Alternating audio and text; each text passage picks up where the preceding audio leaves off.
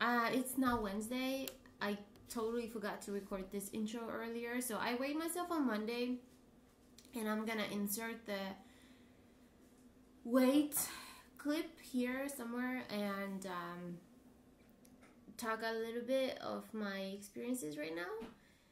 Um, I'm pretty happy with my weigh-in, considering the first week of those two weeks that were, you know, the past two weeks the first week I was sick and I was legit just eating whatever I could eat to like soothe my throat and I was eating honey. I wasn't doing low carb. I wasn't doing anything really. I was trying to do like relatively healthy, but we did have a cheat day I think in in in the middle of that. So I wasn't eating the best. So Well, you I- were sick. Yeah. So you want to like when you feel crappy, you want to have like something to make you feel a little bit better. Just Yeah. In general, so there- you you And- deserve to f- eat something crappy sometimes. and we didn't I didn't take any sick days from work, so Cause you a woman.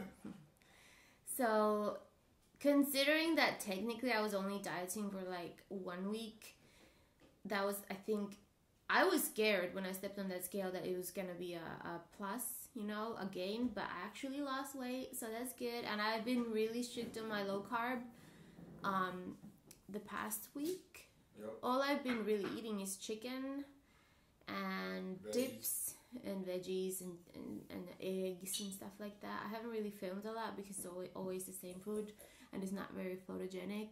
They're not like, they don't look like real meals. They look like chicken wings or they look like baked chicken with, you know, a dip that I'm just eating. They look like really random meals. But I've been doing good with that.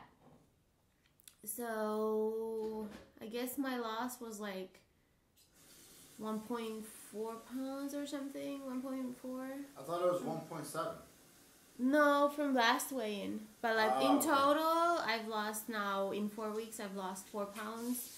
Considering the setbacks, it's still a loss. I'm I'm really happy about the direction I'm going in, and I'm excited to see what happens in two weeks when I've That's about able to- a week, right? yeah in two weeks I've been able to stick with this. I actually went to the gym when I was sick initially, but um, it was really bad. it was really hard. So then I kind of like totaled out still like three times a week going to the gym, even though I was weak, weak, sick.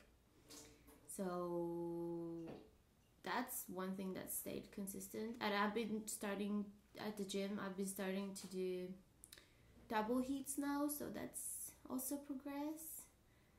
And leaving the gym super sweaty.